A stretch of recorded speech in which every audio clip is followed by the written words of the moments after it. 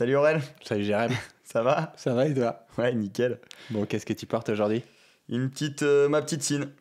Ma petite Cine 556, euh, mais en bracelet d'hiver. Ça y est. Bracelet d'hiver. Ouais, l'acier. Ça y est, j'ai fait la transition. Là. Les, les, les 8, euh, les 8 degrés de ce matin ont eu euh, raison de moi. Ok, bah oui, bah on va tous faire ça. hein. Ouais, c'est ça. Moi, c'est très vraiment timé. Quoi. Ouais. Je sais que c'est l'hiver quand je passe euh, ma Cine sur l'acier.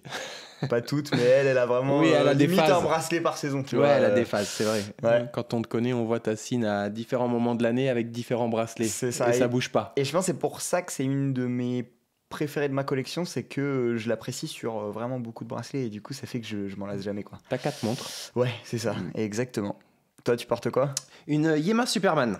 Yes. Yema Superman en 39. La euh, héritage. euh, La ouais. héritage, une des premières euh, rééditions puisqu'elle a le mouvement état dedans. Ok, ah yes, un collector, Euh, ouais, plus ou moins. Plus Mais, ou euh, moins. C'est vrai qu'il y en Ouais, a ouais. qui cherchent Il y en a le qui cherchent. mouvement état quoi. Ouais, c'est vrai qu'on nous a déjà fait ce genre de demande.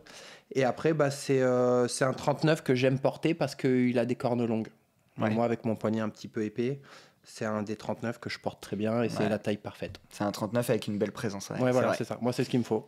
Et toi, euh, t'as toujours le bracelet d'été par contre? J'ai toujours le bracelet d'été, ouais. Moi, c'est euh, c'est par euh, feignantise peut-être.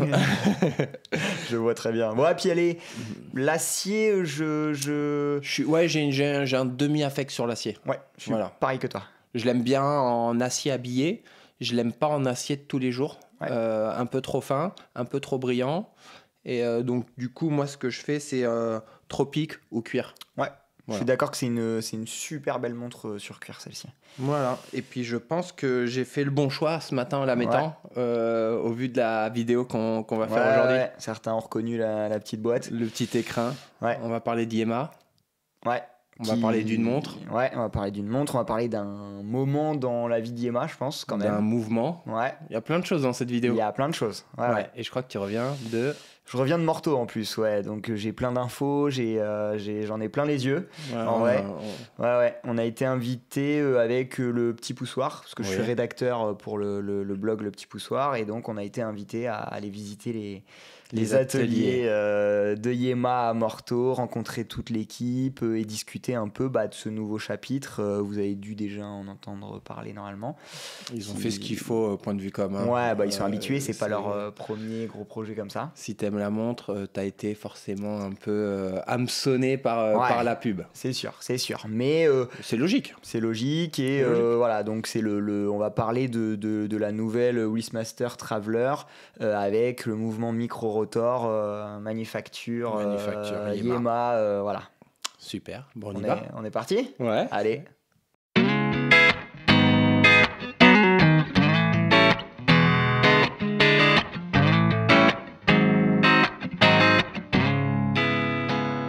Bon, avant de rentrer dans le vif du sujet, c'est un nouveau format aujourd'hui. Ouais, nouveau format. Tu veux leur en dire un peu plus quand même pour Bah, les- c'est, le, c'est le format aujourd'hui euh, focus. C'est-à-dire qu'on a la montre avec nous.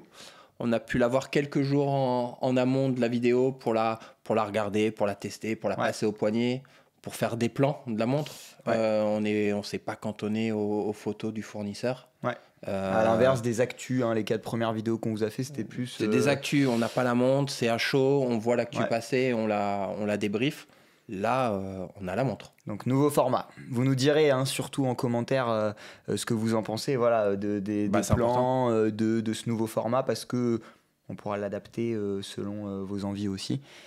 Euh, D'ailleurs, on a eu beaucoup de, de- de commentaires sur les premières vidéos. été génial, excellent. Franchement, c'était vraiment bien parce qu'on a eu des échanges en commentaire qui étaient euh, hyper instructifs, des retours d'expérience. euh, Ouais, bah, ça nous a même permis de nous améliorer entre la première et la deuxième. Les, les gens Ouais. manquaient de plans, des montres, on en a ajouté. Enfin, c'est génial que ça continue à vivre comme ça, c'est Ouais. le top. Ouais, ouais, continuez. Et puis d'ailleurs, on, on vous le dira pas à chaque fois parce que c'est pas dans notre façon euh, de, de faire voir la chaîne. ouais. de voir la chaîne, mais voilà, euh, c'est indispensable. euh, Abonnez-vous, euh, mettez la petite cloche pour avoir les notifs parce que bah, ça vous permettra d'être au courant des dernières vidéos. Euh, Il y a l'Instagram aussi où on essaie de vous mettre un peu de behind the scene, euh, voilà. Donc Puis euh, tout ça, malheureusement, fait aussi que si on le fait pas, bah, Google nous ressort pas et donc Ouais, on ça a moins de visibilité. Donc il faut. ouais, ça nous aide. Ça nous aide. Ça nous aide. Et puis là, Bon là c'est trop cool, on a eu l'opportunité d'avoir une montre en avant-première entre guillemets. Il y a, y a tout le monde, tout le monde l'a pas eu dans les mains. Non. euh, cette montre, donc c'est c'est- c'est top pour nous. Euh, Ouais. Ça nous permet de vous donner du contenu exclusif aussi. Et plus la chaîne a, euh, a de, de, de, de monde dessus, de Et plus on aura ce genre de- d'expérience. Exactement. Donc euh, merci beaucoup. pour Merci le- à vous ouais, tous, ouais. ouais, merci Allez, on les- beaucoup. On les, embête pas plus. Ouais, vas-y. dans le vif Moi j'ai trop envie de parler de ça. hein, Ouais, je- moi aussi.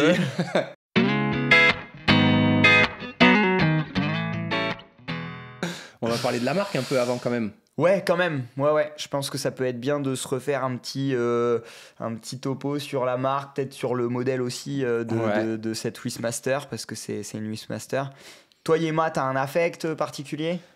Moi, Yema, euh, j'ai un affect sur, euh, sur la, la nouvelle. euh, plus le nouveau Yema que l'ancien. Ok. Ça, c'est c'est, euh, intéressant, ouais, parce qu'il y en a beaucoup qui vont avoir un affect plutôt sur l'ancien. Ouais, moi, le, mon affect sur une maison française ancienne, c'est Lip. Ouais. Parce que ça a été la montre de mon grand-père. ça, je sais, il avait une dauphine. euh, Une dauphine et une Himalaya. Ok. originale. Et euh, donc, c'est pour moi la, la maison historique euh, française, c'est plutôt, c'est plutôt Lip. Hmm. Mais dans le, dans le Yema moderne, ce qu'ils veulent refaire, comment ils voient l'horlogerie, le, ce qu'ils insufflent, euh, je trouve ça super. La renaissance et le renouveau d'Yema, c'est un, c'est un cas d'école, Voilà. pour le coup. hein, euh. Mais, euh, mais sur le vintage, j'y ai pas été confronté, j'en ai jamais eu dans ma collection, j'en Ouais. ai rarement croisé sur des brocantes ou quoi que ce soit. Je vois ce que tu veux dire. T'as voilà. pas l'affect que t'as sur Lip par rapport à, à ton histoire Voilà, c'est ça, personnelle. C'est ça. Et puis aussi pour remettre en, En pour comparaison- remettre en comparaison, euh, Lip est une maison beaucoup plus ancienne. hein. Ouais. C'est euh, c'est 1887 de mémoire Lip. Ouais. Et Euh, Yema, Yema, c'est c'est 1948. Ouais. Donc euh, Yema, c'est une marque historique, mais dans l'histoire de l'horlogerie, qui est plus récente. plus récente quand même. Ouais.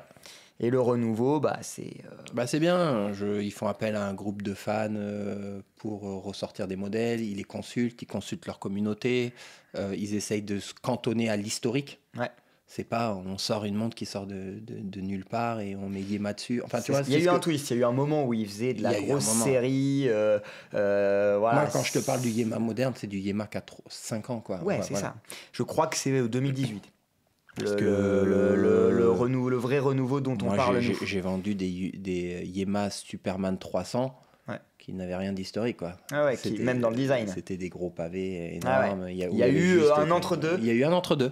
Qui a été un peu moins. euh, voilà, que nous, on va moins aimer. Ouais. Par contre, depuis ouais, 2017-2018, euh, ils ont vraiment euh, tablé sur le fait qu'ils avaient une grosse communauté de fans qui aimaient l'historique de la marque, qu'ils avaient les tiroirs remplis De modèles. de pépites, hein, parce qu'on parlait de la Superman là dans l'intro puisque tu la portes. Mais euh, les navigraphes, les rallygraphes, Ah Enfin, en montre professionnelle française, euh, ils sont, Ah ouais, ils sont très loin. hein. ils sont très loin et ils ont su repartir là-dessus. Et ils ont su repartir là-dessus. Ouais. Ce qui est euh, la meilleure des choses qu'on qu'on puisse faire, je pense, à mon sens, aujourd'hui, quand on recrée une marque de montre. Ouais, c'est vrai. Alors, j'ouvre un chapitre. Oui, je te laisse l'ouvrir. Yema Kickstarter. Qu'est-ce que t'en penses, toi? Parce que c'est un, un débat. Je pense que vous Moi, allez. je l'ai- je l'ai- euh, je l'ai déjà, euh, je l'ai déjà dit, je l'assume, mais c'est euh, le, le- le petit côté que, que je vais pas aimer sur le renouveau de Diema. D'accord. Euh, Qu'une marque aussi installée fasse des Kickstarter, ça me dérange. Mais euh, bon, euh, ils ont tellement une force de, de recherche et développement et d'innovation qu'ils sont peut-être obligés de faire comme ça. Et du coup, bah derrière, ça fait des modèles en, grande série, abordables pour tout le monde, parce qu'il y a eu ce Kickstarter. C'est- Je trouve que tu as bien résumé. Et moi, j'ai eu, euh, comme toi, un cheminement là-dessus. Au début, je me suis un peu offusqué. euh, Kickstarter, euh, C'est facile. euh, voilà, quand Beaubleu fait son Kickstarter, quand Baltic fait son Kickstarter, je trouve ça super. C'est des jeunes marques qui ont un projet, mais qui ont besoin de, de, bah, De que, visibilité. que- ouais, que leur production euh, soit payée d'avance parce que bah, c'est pas facile de lancer une prod de montre. Et Mm. toi, tu le sais, hein, Mm. on en parlera un peu plus tard, mais tu as un petit projet. Ouais, les- j'ai des, des projets, moi bah, j'en ai plein dans l'horlogerie, dont la Ouais. création d'une d'une marque de montre. Mais, mais oui, c'est compliqué. C'est compliqué. C'est des coûts, il faut vite faire euh, 500 boîtiers, 500 cadrans, donc si tu fais trois couleurs, c'est 1500 cadrans. Enfin, Ouais, et du coup, c'est compliqué. c'est compliqué. Mais Yema, tu te dis, ils en ont pas besoin. C'est ça. Alors après, il y a eu un, Ils ont, ils ont euh, expliqué dans les derniers que c'était pour financer aussi le fait d'avoir des ateliers, le, faire de, le Oui. fait de faire du plus français encore. Et quand tu visites, bah, tu te rends compte que oui, les ateliers, ils ont été refaits, grâce notamment à des scores records sur Kickstarter. Euh, là, Ah oui, euh, oui, ils oui. annoncent un micro-rotor français. Enfin, moi, j'ai vu des Moi, je- machines qui usinaient des pièces à morteau. Sincèrement, hein, dans l'horlogerie, tu pas beaucoup de maisons qui usinent directement chez elles. Il y a beaucoup de calibres manufacture où en fait ils commandent toutes les pièces et ils les assemblent toutes Oui, oui. Et, ils, et ils mettent la mention manufacture. Donc je pense que Mais j'assouplis c'est- mon discours, moi, sur ça. Voilà. Je, le, je le comprends. Euh, après, ça peut être aussi des précommandes sur leur site en direct, tu vois, avec Oui. un prix, et tu passes pas par Kickstarter. Ouais. Mais tu rayonnes pas sur le monde entier. Tu C'est rayonnes ça. sur ta communauté C'est française. exactement euh, ça. Et pour rebondir là-dessus, j'en parlais avec euh, William de Yema, et justement, oui, le côté Kickstarter amène bah, une clientèle que euh, tu n'aurais pas capté si tu fais la préco sur ton site. Et Ouais. en fait, ça permet de Yema à Yema, et du coup à l'horlogerie française, Mhm. de rayonner à de l'international. rayonner. Parce que celui qui va acheter une Yema sur Kickstarter qui est en Australie, bah peut-être qu'il va regarder les autres projets et qu'il va se rendre Oui, compte non, que Baltic existe, sûr, que. Serica existe. Tu vois ce que je veux Non, dire? non, mais je le, je le, je le, je le comprends de plus en plus. euh, voilà. Bon. Ouais.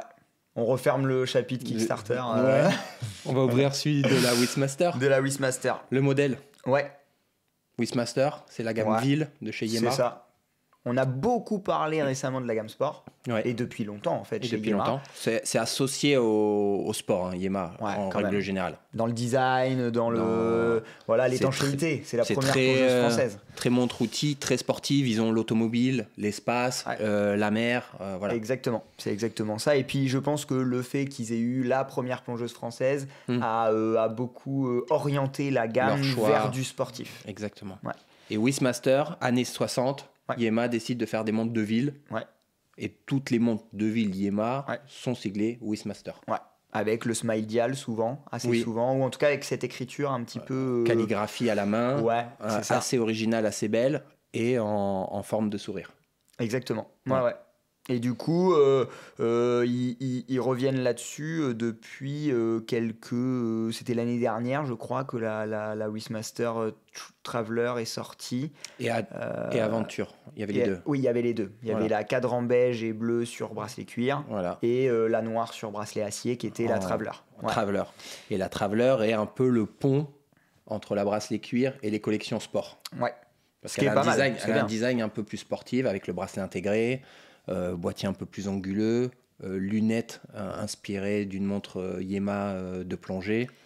Oui, c'est vrai ce que tu dis. Quand tu regardes les, les, les euh, beige et bleu, il n'y a pas la lunette. Y Il a y a, quand même euh, pas mal de différences entre Voilà, les deux. c'est ça. Ouais. Bon, ben ça y est, on referme Ouais. ce, ce- ce chapitre aussi et on attaque le vif du sujet. J'ai envie qu'on la sorte, Ouais, moi. vas-y, on va ouvrir cette boîte, non? Bon, moi j'ai déjà vu. J'ai le droit de l'ouvrir alors. Du coup, je te laisse la, je te laisse la découvrir. Ouh là là. Ouais, puis en plus, ils t'ont fait un, un petit plaisir, ils te connaissent.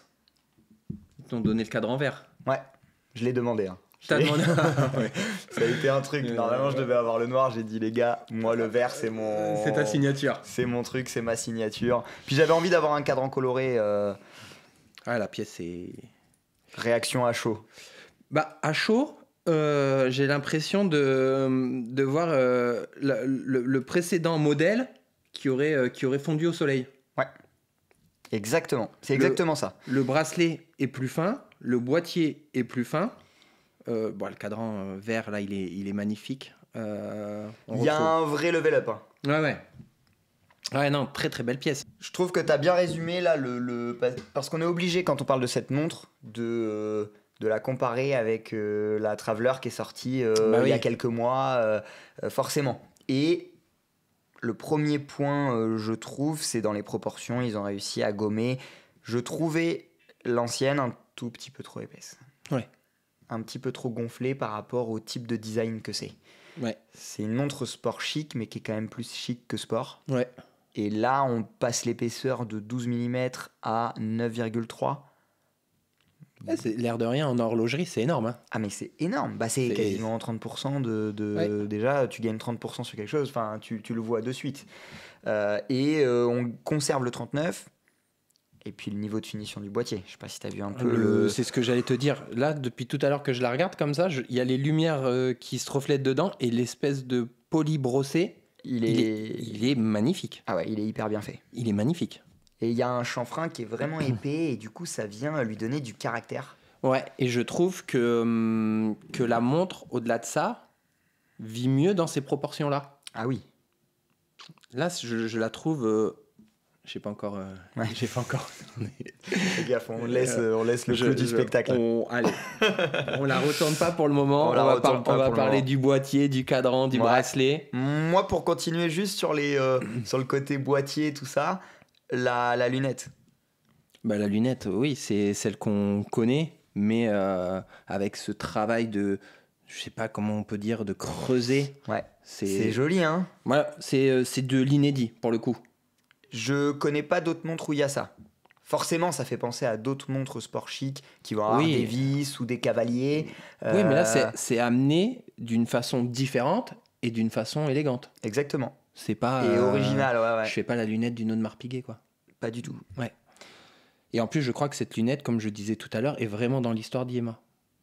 Euh, C'était oui, une montre oui. de plongée Elle des elle années 60. C'est ça. Ouais. Donc, dans la collection Wristmaster actuelle, comme tu disais tout à l'heure, pour faire le pont entre le Wristmaster très habillé euh, de la gamme et l'autre partie sportive, ils ont utilisé cette lunette.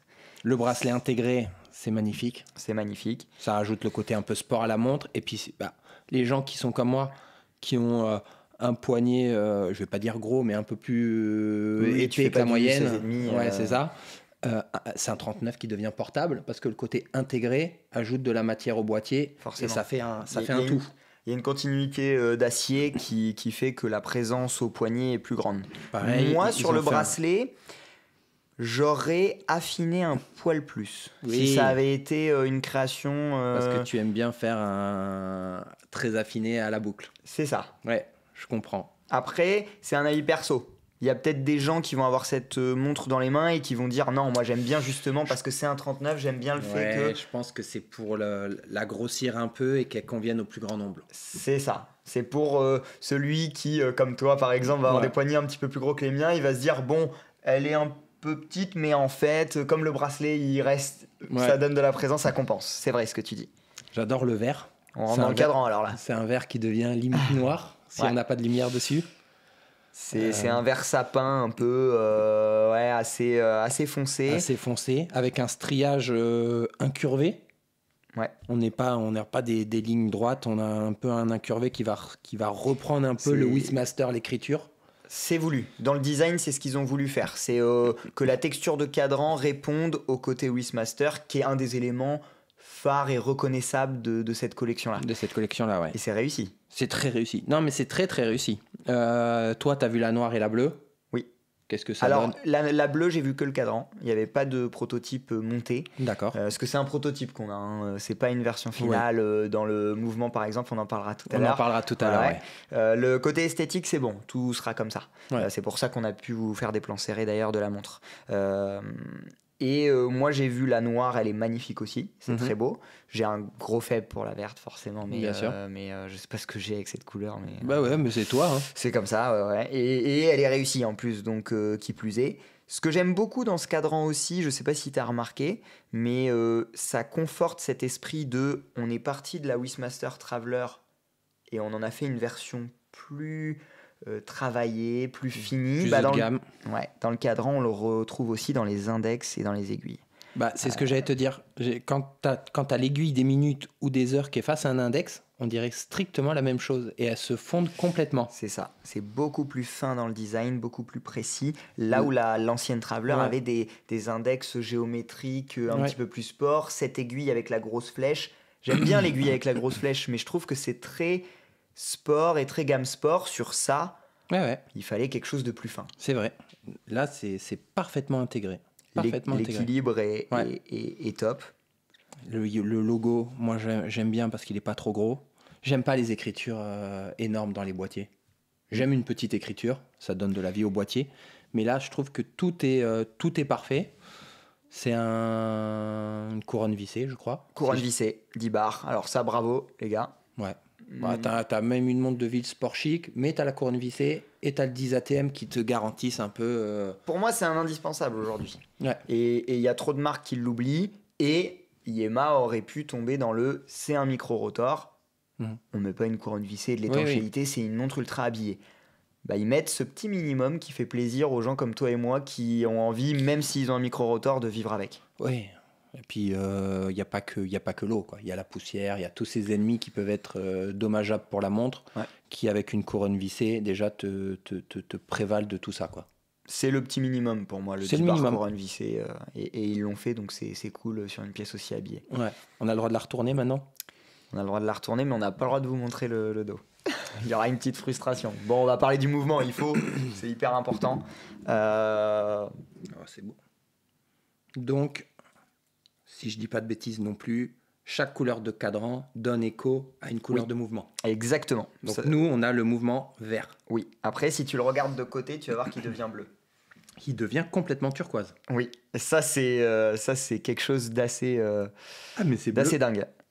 On dirait les, euh, les petites vignettes qu'on avait quand on était petit, qu'on C'est ça, retournait. c'est ça. Moi, j'étais comme toi. Quand je Ah, l'ai j- J'ai envie de faire que ça. quand je l'ai vu la première fois, j'étais un peu comme un enfant. Il y a un petit retour en enfance qui se fait. euh, Ouais.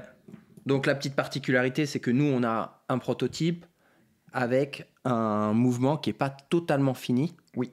Et donc, on peut pas le filmer en gros plan. On peut le filmer de loin, mais pas en gros plan, parce qu'il y aura encore des petites améliorations C'est ça. qui vont Là, c'est surtout sur la partie gravure euh, et Yema, euh, et je les comprends. euh, tant que c'est pas le, le- le produit fini, euh, on peut pas le montrer. Mais ça va être des petits détails.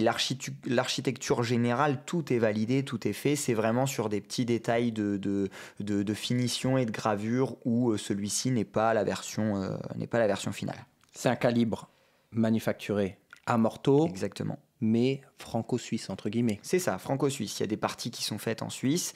Euh, Le, balan- euh, le spiral Oui, exactement. et le balancier, je, je crois, dans les 20% et 80% fait à Morteau. C'est ça. Donc c'est c'est en ça, C'est- moi je trouve que c'est un nouveau chapitre Yema. Une belle Euh, réussite. Bah, et puis il y a peu de marques françaises qui, qui manufacturent. hein. Ouais, il y a vraiment très très peu. Euh, Et, et- et- nous, pour avoir visité les ateliers, euh, on a vu euh, des, euh, des platines et des ponts en cours d'usinage. On a vu la machine le faire avec euh, la toute découper, l'huile que ça euh, envoie. Là. Je sais pas si tu as déjà vu ça. Ouais, ouais. C'est assez impressionnant, hein. c'est des, des, des, grosses fraiseuses en fait, avec euh, 10 fraises différentes et qui viennent, euh, qui viennent usiner la pièce directement. Et euh, on ouvre la porte, on prend la pièce. Enfin, j'ai Ludo du petit poussoir à découper La, la, pièce. pièce. directement. Et tu, ouais, c'est. Moi, ça me, ça, me, ça me fait plaisir de vivre ce genre de moment et puis de, bah, de voir une maison française vouloir faire. On parle beaucoup du Made in France, du Swiss Made. C'est des, des valeurs un petit peu, à mon sens, euh, pas usurpées, mais euh, c'est facile de dire Made in France et pas faire du Made in France. Là, toi, tu as vu la pièce sortir de la machine. C'est ça. Tout n'est pas usiné là-bas et c'est normal, mais euh, j'aime euh, j'aime le fait qu'ils essaient de, de monter le pourcentage de plus en plus. Aussi dans le, le choix euh, bah, risqué du micro-rotor. Le micro-rotor, Mm. pour un premier calibre qui soit manufacturé autant à Morteau, Ouais. parce que par rapport au Yema 2000 et 3000, il y a quand même une grosse partie d'assemblage. Là, bah, ils usinent sur un mouvement un peu touchy. Ouais. Un peu touchy, mais qui, qui à soi se fait que on innove, euh, on repousse des barrières. On euh, bouscule les codes. on bouscule les codes, euh, Rolex et sa Dipsy, enfin tu vois, c'est ça aussi l'horlogerie, c'est repousser des, des, des barrières, et là ils le font bien. En plus, ce qui est intelligent, entre guillemets, c'est que les gens qui vont avoir du Yema déjà en collection, bah, comme tout fan d'horlogerie, avoir une complication ou un mouvement différent, c'est toujours, c'est toujours plaisant. Donc euh, ils auraient fait un calibre euh, classique, 3 aiguilles, euh, 100% morteau. Oui, mais t'apportes rien. En fait, tu apportes juste le manuf. Là, ils manuf. associent ce côté on devient de plus en plus une manufacture avec on vous sort un micro-rotor On euh, sort un micro-rotor. Et le micro-rotor, euh, si je dis pas de bêtises, l'intérêt principal, c'est de faire une montre plus fine est beaucoup, Exactement. Plus, est beaucoup plus belle parce que la masse ne gêne pas. Euh, En fait, tu vas absorber l'épaisseur de la masse. t'absorbes l'épaisseur de la masse et tu libères les ponts de la montre pour les voir. Pour et- les voir. Voilà. Donc ils mettent ça dans une Wishmaster, c'est logique. C'est logique. Tu Une ça- Wishmaster qui avait été décriée pour son épaisseur un petit peu. Ça pouvait être un des points Ouais. euh, du coup de mettre le micro-rotor dedans, c'est logique. Ouais, mais c'est clairement un, un- un mouvement euh, de ville, entre guillemets. Et Bien le mettre dans une Superman, ça aurait été incohérent. Il y, en, y en a qui ont dit ah pourquoi c'est pas une Superman pour ce mouvement? Moi, je suis tout à fait d'accord avec toi là-dessus. Tu cherches la finesse. Tu cherches la finesse et puis le micro-rotor historiquement n'est pas trop dans des mondes sportifs. Voilà, c'est quelque chose qui est fait la- pour être beau. C'est ça, il y a eu la Paul Router Sub euh, qui avait été faite, Oui. mais parce que c'était l'histoire de la montre, la Paul Router, d'avoir un mouvement micro-rotor. Et Mhm. quand ils l'ont décliné en sub, bah, ils, ont, euh, ils ont voulu garder ce truc. Mais c'est un exemple. euh, Oui, voilà. On en parlait tout à l'heure, euh, il y a des petites améliorations euh, sur le micro-rotor, Mhm. plutôt en général, le- les micro-rotors en général, que Yema a apporté qui sont, qui sont top. Ouais, parce que le problème d'un micro-rotor, euh, si on veut le, le, le- le dire à, à nos, à nos personnes qui nous suivent, c'est que ça, ça a du mal à se remonter des fois. Ça- Parce que la masse est tellement petite qu'elle est logée dans un petit emplacement, qu'elle n'a pas beaucoup d'amplitude et de, que ça remonte mal. C'est ça, c'est ça. Ça peut être un des points. Ça peut être un des points faibles. Voilà, des points faibles du, euh, euh, c'est le remontage automatique, le, le Mm. point faible de certains micro-rotors. Et eux, ils ont décidé d'utiliser du tungstène Mhm. euh, pour, pour fabriquer cette masse. Ce qui permet en fait, c'est un alliage qui est beaucoup plus lourd, c'est ça hein, Ouais, c'est un alliage plus lourd, plus dense, ouais. donc qui a, qui a un poids plus important que de l'acier inoxydable Du classique. coup, qui va être entraîné Voilà. plus facilement dans les mouvements. Ça va lester la masse et qui va l'entraîner plus facilement. Mm. Surtout que le mouvement, il faut le remonter. C'est 70 heures. Ouais. Donc, bon, ce ça. qui est hyper agréable, Ce qui est trop bien, ce qui est hyper agréable, mais il faut le remonter. Donc, il faut une bonne masse qui tourne bien. c'est ça. 70 heures d'ailleurs, on s'attarde un peu dessus.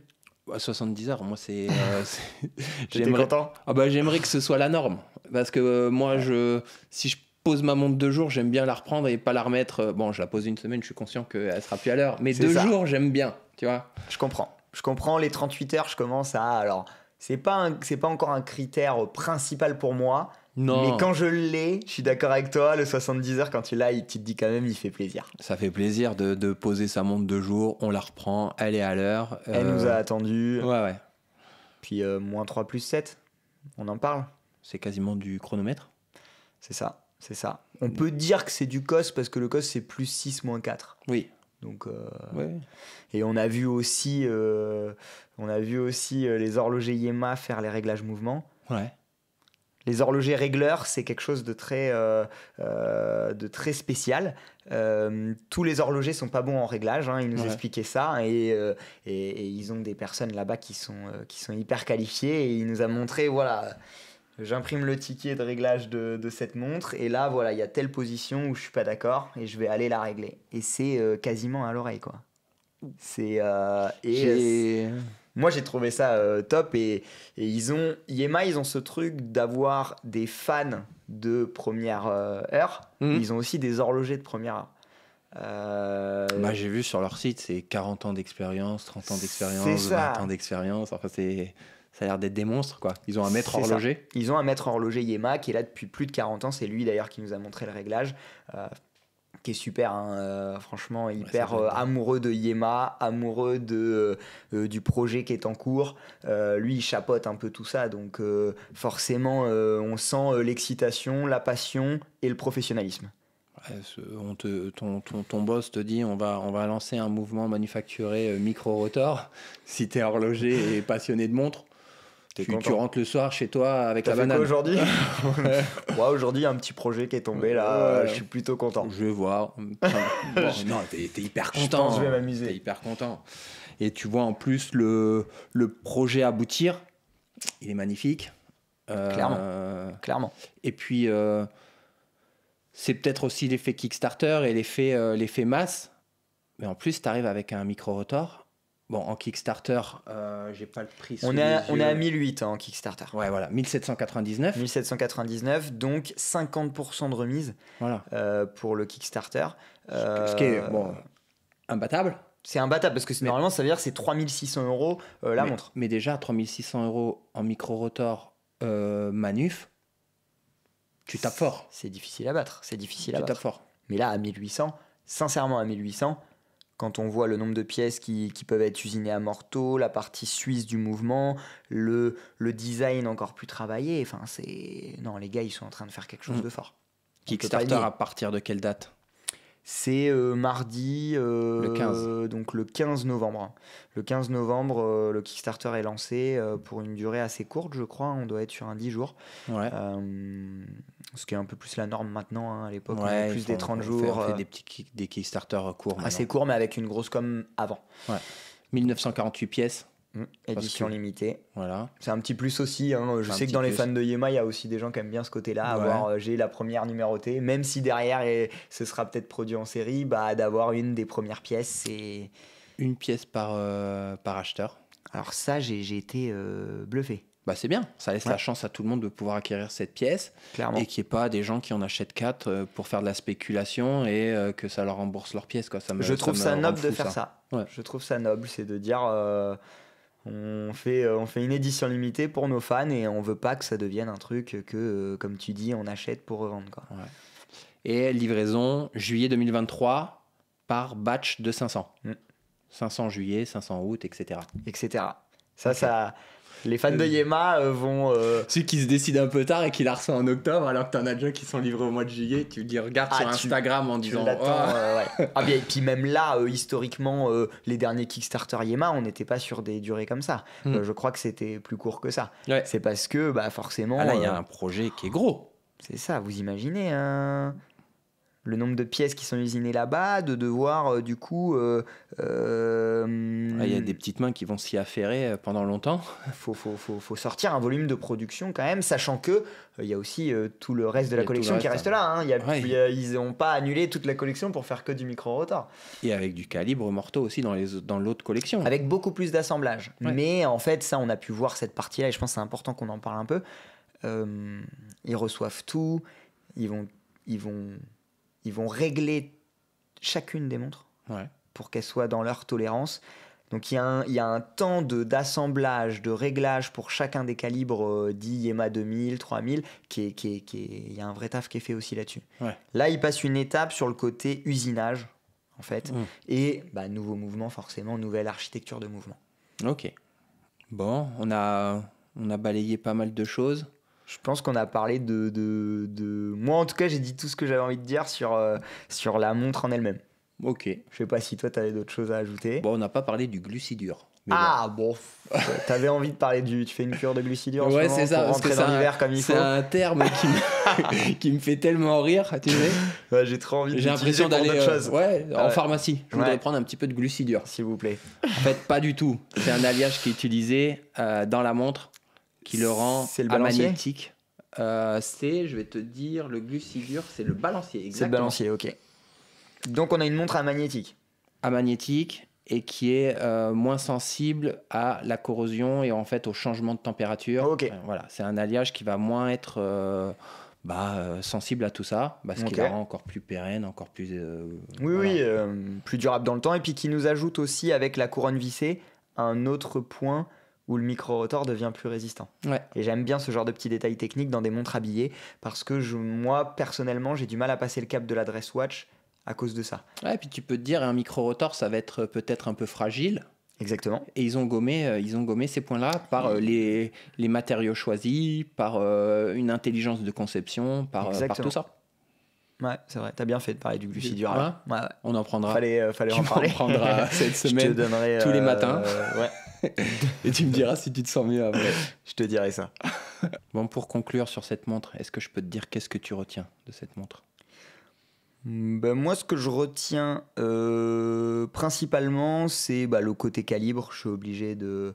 C'est le point de.